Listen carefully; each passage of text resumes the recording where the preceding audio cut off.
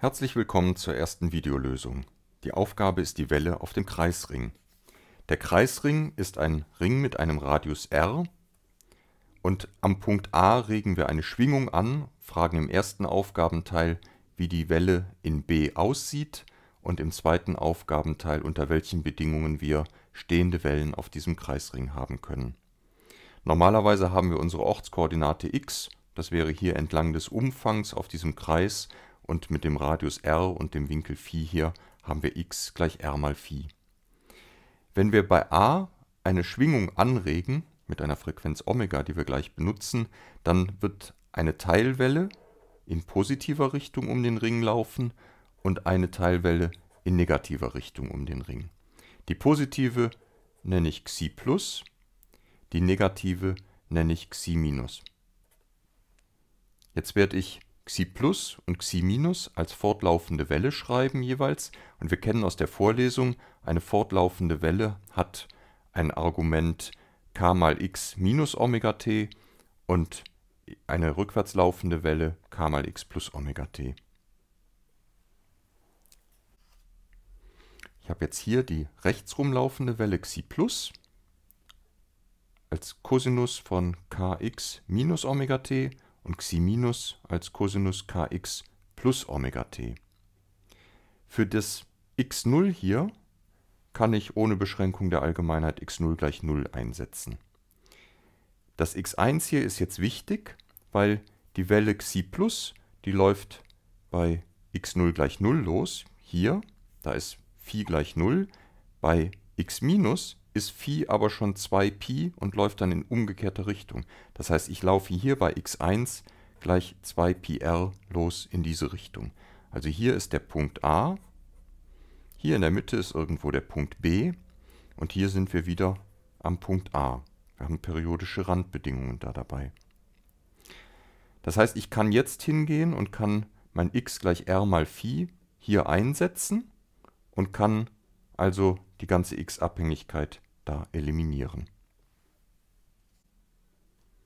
So, mit dem Einsetzen haben wir hier oben dann Cosinus k mal r mal Phi. Wir erinnern uns, x0 ist 0. Haben wir das Ergebnis minus Omega t. Wenn wir hier einsetzen, haben wir k mal r mal Phi minus k mal 2πr für das x1 plus Omega t. Jetzt gilt, dass die Gesamtwellenfunktion xi die Summe von xi plus plus xi minus sein wird. Und jetzt muss ich, um die beiden addieren zu können, das Additionstheorem vom Cosinus kennen. Und zwar ist der Cosinus von Alpha plus dem Cosinus von Beta gerade zweimal dem Cosinus von der Summe der halben Winkel mal dem Cosinus von der Differenz der halben Winkel. So, wenn wir das Cosinus-Theorem jetzt auf die Summe von Xi plus und Xi minus anwenden, bekommen wir also 2 mal Xi 0, dann den Cosinus von der Summe der beiden Argumente geteilt durch 2. Das heißt k mal r mal Phi gibt es 2 mal, durch 2 bleibt 1 übrig, minus k pi r, das kommt von dem hier, geteilt durch 2, mal dem Cosinus, jetzt ist es mit dem Omega t genau das gleiche, Omega t minus Omega t 2 und durch 2 dividieren, bleibt minus Omega t übrig und wir haben plus ähm, k mal 2 pi r halbe, gibt den Term hier. Jetzt können wir das einfach zum Beispiel an b auswerten, um den ersten Aufgabenteil zu beantworten. Wie sieht diese Welle am Punkt B aus? Das ist ja nichts anderes, als wenn wir die Welle am Punkt Phi gleich Pi auswerten würden. Hier sind wir gerade bei Pi mal r, also Phi ist gleich Pi. Und dann erhalten wir durch Einsetzen die Lösung. Also wir haben hier den Cosinus von 0, weil kr Phi gleich Pi sich gerade mit dem Term weghebt. Das heißt, dieser Cosinus ist gerade gleich 1. Das Ganze ist der Amplitudenterm, der dann 2 Xi 0 ist, also maximal. Und hier steckt noch die Zeitabhängigkeit. Das heißt, hieraus folgt unmittelbar, dass wir im Punkt B einen Wellenbauch haben. Weil wir konstant maximal sind mit der Amplitude, die nur zeitlich variiert wird, Wellenbauch in B. Als nächstes gilt die Frage zu beantworten im zweiten Teil, was haben wir für eine Stehwelle auf diesem ganzen Ring?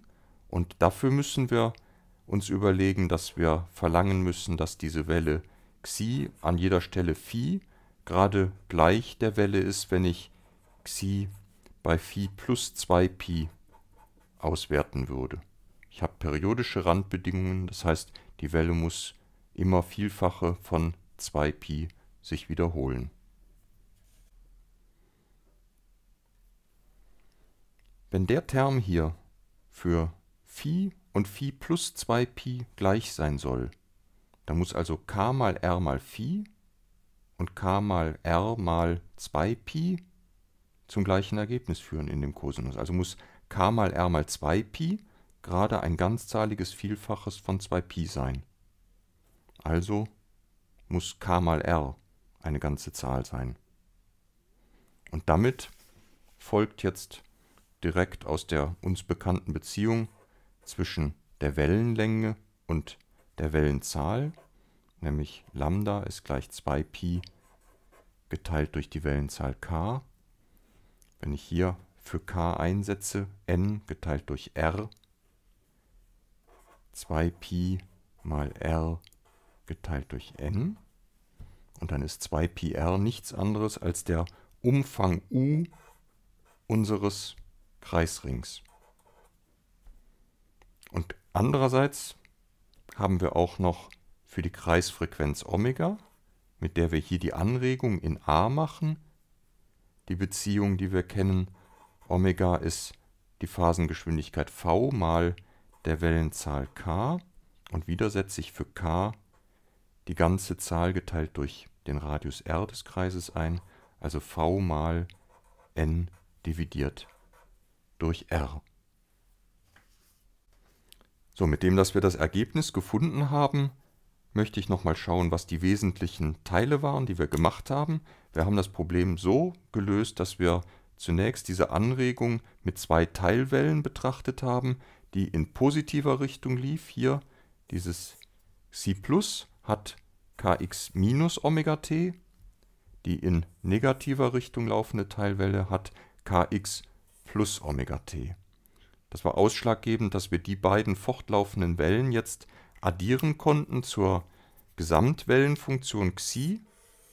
Und diese Gesamtwellenfunktion ist jetzt selber eine stehende Welle.